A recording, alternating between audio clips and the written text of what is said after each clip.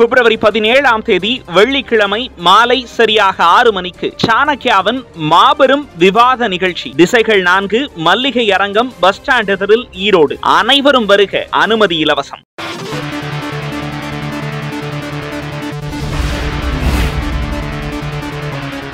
உத்தராகண்டில் உள்ள ஜிபி பத் வேளாண்மை மற்றும் தொழில்நுட்ப பல்கலைக்கழகத்தின் முப்பத்தி நான்காவது பட்டமளிப்பு விழாவில் தேசிய பாதுகாப்பு ஆலோசகர் அஜித் தோவல் கலந்து கொண்டார். அதில் அவருக்கு இலக்கியத்திற்கான கௌரவ டாக்டர் பட்டம் வழங்கப்பட்டது. இதனை அம்மாநில ஆளுநர் குர்மீத் சிங் வழங்கினார். அந்த நிகழ்ச்சியில் பேசிய அஜித் தோவல் இந்தியாவில் இருந்து பாகிஸ்தான் பிரிக்கப்பட்ட பொழுது இரண்டு புள்ளி இரண்டு கோடி ஹெக்டேர் வேளாண் நிலங்கள் பாகிஸ்தானிடம் சென்றதாகவும் அதனால் முப்பத்தி ஐந்து கோடி மக்கள் தொகை கொண்ட இந்தியா தனது மக்களுக்கு உணவளிக்க முடியாது என பல நாடுகள் நினைத்ததாகவும் தெரிவித்தார்.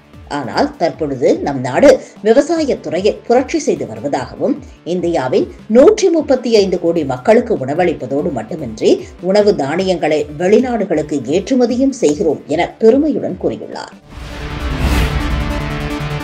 குஜராத் உயர்நீதிமன்றத்தின் முதல் பெண் தலைமை நீதிபதியாக சோனியா பென் கோகானி பதவியேற்றுக் கொண்டார். அவருக்கு குஜராத் ஆளுநர் ஆச்சாரியா தேவ்ரத் ராஜ்பவனில் முறைப்படி பதவி பிரமாணம் செய்து வைத்தார். பதவியேற்பு விழாவில் முதல்வர் பூபேந்திர பட்டேல் குஜராத் சட்டத்துறை அமைச்சர் ருஷிகேஷ் பட்டேல் உச்சநீதிமன்ற நீதிபதி பேலா திரிவேதி உள்ளிட்டோர் பங்கேற்றனர். சோனியா வரும் இருபத்தி ஐந்தாம் தேதி பணி ஓய்வு பெற உள்ளதால் ஒன்பது நாட்கள் மட்டுமே அவர் இப்பொறுப்பில் இருப்பார் என கூறப்படுகிறது.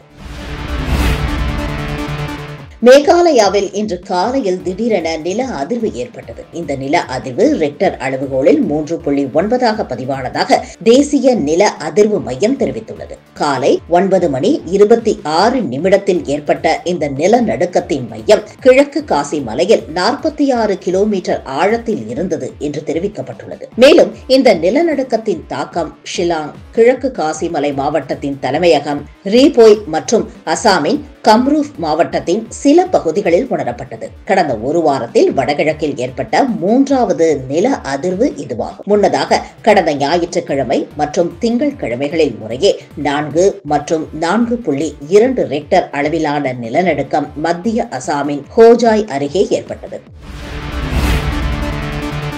கேரளாவின் பாலக்காடு ரயில் நிலையத்தில் சந்தேகத்தின் அடிப்படையில் இரண்டு நபர்களை ரயில்வே பாதுகாப்பு படையினர் அழைத்துச் சென்று விசாரித்தனர். அவர்களை சோதனையிட்டதில் உடலில் கட்டுக்கட்டாக பணம் மறைத்து வைக்கப்பட்டு இருந்தது கண்டுபிடிக்கப்பட்டது. இதன் மொத்த மதிப்பு ஒரு கோடியே இரண்டு லட்சம் ரூபாய் என்று அதிகாரிகள் தெரிவித்தனர். இந்த பணத்திற்கு அவர்கள் இரண்டு பேரிடமும் உரிய ஆவணங்கள் இல்லை. இதனை அடுத்து அந்த ஹவாலா பணம் பறிமுதல் செய்யப்பட்டது. தொடர்ந்து அவர்களை விசாரிக்கையில் அவர்கள் மதுரையைச் சேர்ந்த பாலகிருஷ்ணன் மற்றும் கணேஷ் கணேசன் என்பதும் பெங்களூரில் இருந்து காயங்குளத்திற்கு பணத்தை மறைத்து வைத்து கடத்திச் சென்றதும் தெரியவந்தது அவர்கள் இரண்டு பேரையும் ரயில்வே போலீசார் பாலக்காடு வருமான வரித்துறை அதிகாரிகளிடம் ஒப்படைத்தனர். அதிகாரிகள் அவர்கள் இரண்டு பேரையும் கைது செய்தனர். தொடர்ந்து விசாரணை நடத்தப்பட்டு வருகிறது. உத்தரப்பிரதேசத்தின் சுல்தான்பூர் பகுதியில் வியாழக்கிழமை அதிகாலை ஐந்து மணி முப்பது நிமிடத்தில் ஒரே தண்டவாளத்தில் இரண்டு சரக்கு ரயில்கள் நேருக்கு நேராக மோதிக்கொண்டன. இந்த விபத்தில் இரு ரயில்களின் ஓட்டுநர்களும் சிறு காயங்களுடன் அதிர்ஷ்டவசமாக உயிர் தப்பினர். ரயில்கள் மோதிக்கொண்டதால் பெட்டிகள் தடம் புரண்டன. இதனால் தண்டவாளங்களும் சேதமடைந்தன. இந்த விபத்து காரணமாக லக்னோ வாரணாசி வழித்தடத்தில் ரயில் போக்குவரத்து பாதிக்கப்பட்டது. ரயில்களை அப்புறப்படுத்தி தண்டவாளத்தை சீரமைக்கும் பணியில் ரயில்வே ஊழியர்கள் ஈடுபட்டு வருகின்றனர். விபத்து குறித்து ரயில்வே போலீசார் வழக்கு பதிவு செய்து விசாரணை நடத்தி வருகின்றனர். பெட்ரோலியம் மதுபானம் போன்ற சில பொருட்கள் இன்னும் ஜிஎஸ்டி வரம்புக்குள் கொண்டுவரப்படவில்லை. அவற்றின் விலையை குறைக்க ஜிஎஸ்டி வரம்புக்குள் கொண்டுவர வேண்டும் என்று பல தரப்பினரும் வலியுறுத்தி வருகின்றனர். இதுகுறித்து கேட்கப்பட்ட கேள்விக்கு பதிலளித்த மத்திய நிதி அமைச்சர் நிர்மலா சீதாராமன் மாநில அரசுகள் சம்மதம் தெரிவித்தால் பெட்ரோலிய பொருட்களை ஜிஎஸ்டி வரம்புக்குள் கொண்டுவர முடியும் என தெரிவித்துள்ளார். மேலும் மின்சாரம் உள்ளிட்ட துறைகளில் சீர்திருத்தங்கள் மேற்கொள்ளுமாறு மாநில அரசுகளை வலியுறுத்தி வருவதாகவும் ஒரே நாடு ஒரே ரேஷன் கார்டு திட்டத்தை அமல்படுத்துமாறு அறிவுறுத்தி வருவதாகவும் தெரிவித்துள்ளார். இவரின் இந்த பதிலால் பெட்ரோல் விலை குறையுமா என்ற எதிர்பார்ப்பு மக்கள் மத்தியில் எழுந்துள்ளது.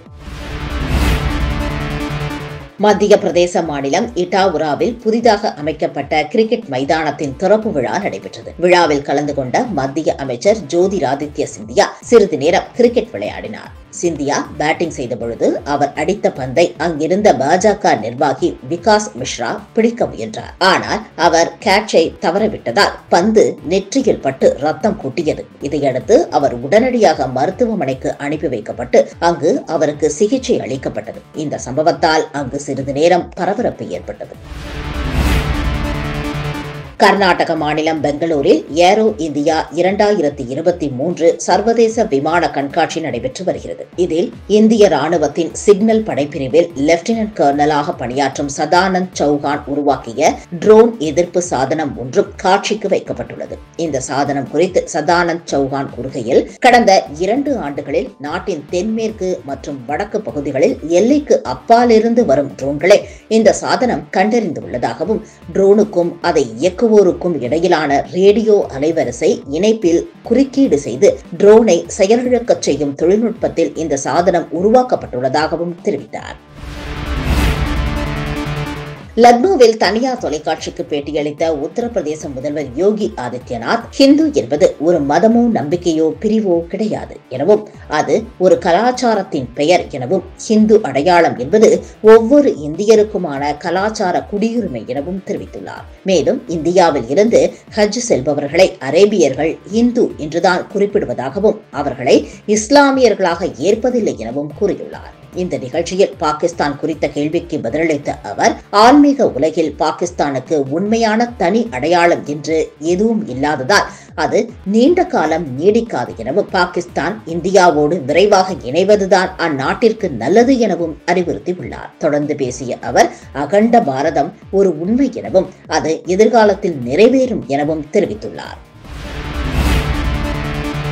ராமர் பாலத்தை தேசிய பாரம்பரிய நினைவு சின்னமாக அறிவிக்கும் விவகாரத்தில் மத்திய அரசு அதிக காலம் எடுத்துக்கொண்டு வருவதால் தனது மனுவை அரசமைப்பு அமர்வு விசாரித்து மத்திய அரசுக்கு உத்தரவிட வேண்டும் என்று சுப்பிரமணிய சுவாமி கூறியிருந்தார். அவரது பொதுநல மனுவை அரசமைப்பு அமர்வு விசாரணைக்கு ஏற்பதாக உச்சநீதிமன்றம் இன்று தெரிவித்துள்ளது. உச்சநீதிமன்ற தலைமை நீதிபதி சந்திரசூட் நீதிபதி நரசிம்மா அடங்கிய அமர்வு இதனை தெரிவித்தது. எனினும் தற்பொழுது அரசமைப்பு அமர்வின் முன் வேறு சில மனுக்கள் இருப்பதால் அவை முடிந்ததும் இந்த மனு விசாரணைக்கு எடுத்துக் கொள்ளப்படும் என்று உச்சநீதிமன்றம் தெரிவித்துள்ளது.